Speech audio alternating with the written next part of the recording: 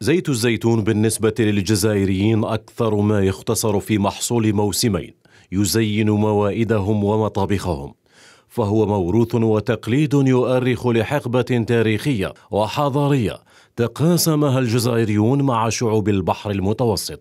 محصول فلاحي يواجه كوابح ضمن مسار تحقيق نهضة زراعته. رغم تسجيل نمو طفيف وتدريجي في إنتاج البلاد خلال السنوات الماضية منتقلا من 90 ألف طن إلى 120 ألف طن سنة 2021 الإحصائيات اللي تقول آه، آه، رانا في حوالي 100 ألف طن.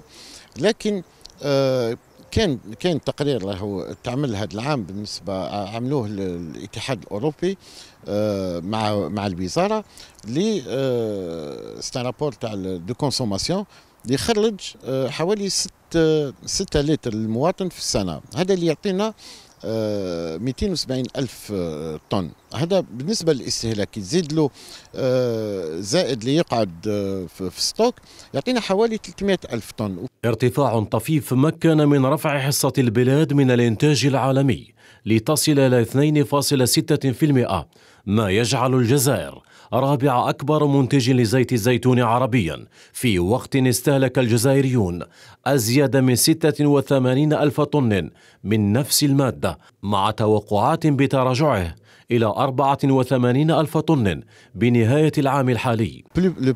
بارك دولياستر في العالم موجود في الجزائر.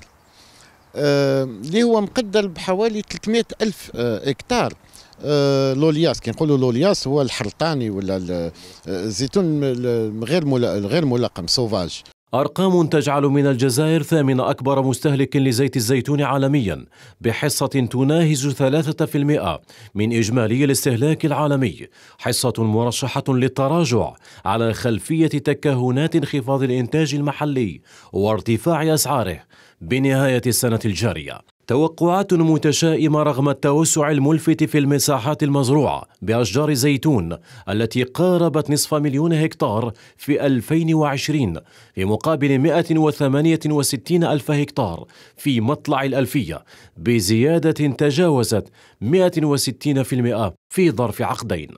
طفرة في المساحة لم يكن لها التأثير الواضح في صادرات البلاد من زيت الزيتون.